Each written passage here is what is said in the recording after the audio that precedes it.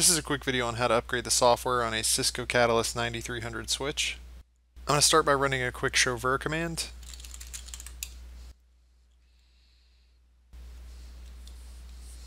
You can see I have a 48 port 9300 running this 16.8 1A image. This is the software that came loaded on the switch out of the box, and rather than putting it straight into production, I prefer to change it to one of the starred images off of Cisco's download page. And I try to stick with the images marked as MD for maintenance deployment as opposed to ED for early deployment. Since based on my understanding of how Cisco does these releases, the maintenance deployments will include bug fixes for existing features, whereas the early deployments will include bug fixes as well as new features. So unless you actually require one of the new features in an early deployment, it's probably better to just stick with maintenance deployment. The easiest way I found to get the new software onto the switch is to copy it to a thumb drive and then connect it to the USB port on the front of the switch.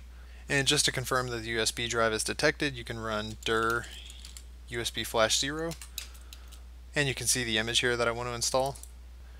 First I'll copy it off of the USB drive and onto the flash of the switch.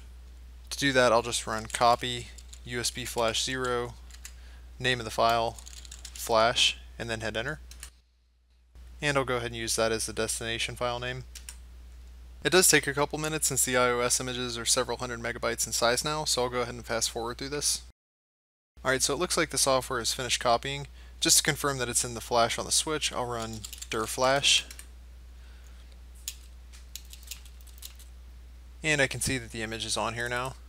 Now this is where the commands are a lot different than they were with older switches on previous versions of software.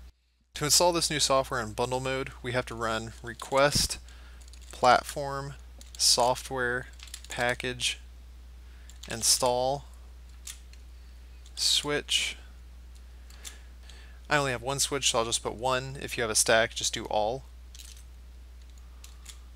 and then file the directory of the file which is flash colon and then the name of the file At this point I can just go ahead and hit enter. If you're using a stack here though, you want to use auto copy. And what this does is it will copy the software to all of the member switches in the stack. But again, I just have one switch here, so I'll just go ahead and hit enter. And at this point it just kind of goes on autopilot and installs the software, so I'll go ahead and fast forward through this. The new software finished installing and it says that it will load on the next reboot, so I'm going to go ahead and reload now.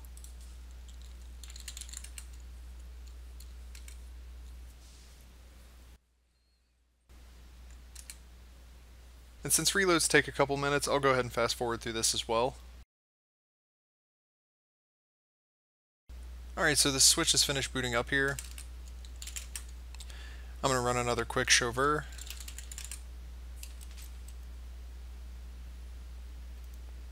And we can see that it's on the new 1664A image that we just loaded. One last thing I like to do is to clean up the old software so that it's not taking up space on the switch. If I run dir flash,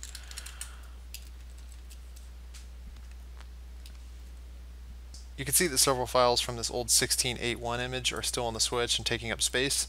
The command to clean these up used to just be software clean, but now you have to run request platform software package clean. And this basically does the same thing that the old software clean did. It just cleans up the unnecessary files that are taking up space in the flash and the switch gives us a similar output as the older models that tells us it will delete the files from the old software, but it won't delete the files from the new software. I'm going to go ahead and just say yes here. And the switch goes ahead and deletes all the unnecessary files from the old software, and at this point the upgrade is done. So that's it for this video. I just thought I would share this information out since Cisco kind of threw everyone a curveball with the commands required to run a software upgrade on the Catalyst 9300s. So hopefully this saves you a little bit of time. Anyhow, hit the like button if this was helpful, and thanks for watching.